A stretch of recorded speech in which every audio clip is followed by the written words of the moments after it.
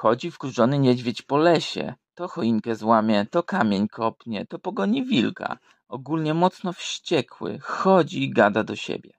Po cholerę piłem tą kawę we wrześniu. Mysz ze słoniem idą na lodowisko. Słoń mówi do myszy. Ej, mysz, boję się, że ten lód pode mną się załamie. A mysz na to. Nie bój się, pójdę przodem i zobaczę, czy lód wytrzyma. Zoo zwiedzający pyta dozorcę. Panie, kiedy będzie pan karmił małpy? A co, zgłodniał już pan? Jaś z Małgosią i sześcioro dzieci stoją na przystanku autobusowym. Na przystanek przyszedł też niewidomy facet. Po dziesięciu minutach podjeżdża autobus.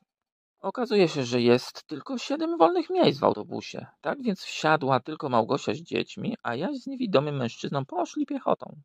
Po kilku kilometrach drogi Jasia zaczął wkurzać dźwięk stukania laski i mówi do faceta. Nie może pan na koniec laski nałożyć kawałka gumki? Strasznie mnie irytuje ten dźwięk. Gdybyś ty, Jasiu, umieścił gumkę na końcu swojego kijka, nie zasuwalibyśmy teraz piechotą. Jasiu mówi do Stasia. Małgosia została dżokejką i występuje na zawodach w skokach przez przeszkody. I zaczęła mi wmawiać, że ma konia dżentelmena.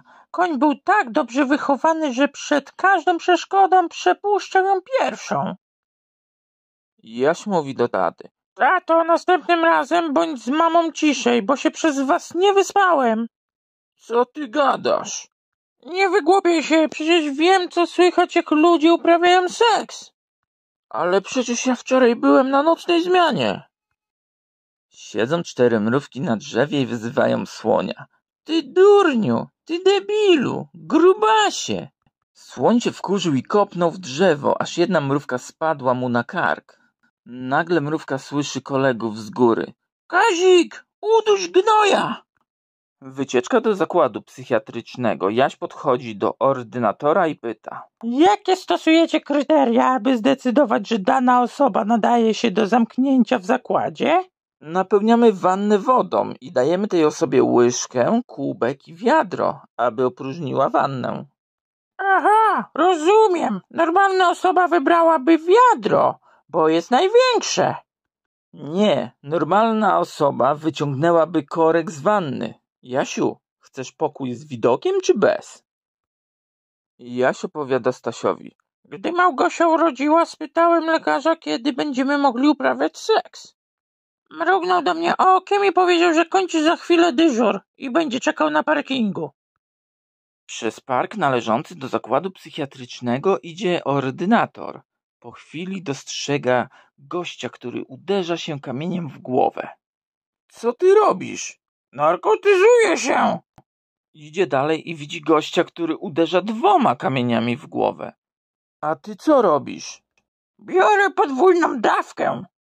Ordynator idzie dalej i widzi trzech wariatów na kupie kamieni. Podchodzi i pyta. A wy co tu robicie? Sprzedajemy narkotyki. Sytuacja w autobusie. Jaś wpatruje się w biust dziewczyny siedzącej naprzeciwko. W końcu dziewczyna wkurzona mówi do niego. Chcesz w gębę? O tak, a drugiego do ręki. Naukowcom udało się skrzyżować złotą rybkę z rekinem. Spełnia trzy ostatnie życzenia.